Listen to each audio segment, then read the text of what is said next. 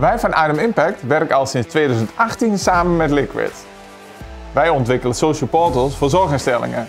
En Liquid levert ons de slimme applicatietegels. En samen zijn we een goede win-win. Ja, wij van Liquid werken gewoon echt heel erg graag samen met AME Impact. Eh, De bedrijfscultuur sluit echt waanzinnig goed op elkaar aan. En eh, met elkaar maken we volgens mij echt een enorme impact in, eh, in de zorgmarkt in Nederland. Nico. Het is geen AM-impact, het is ANM-impact.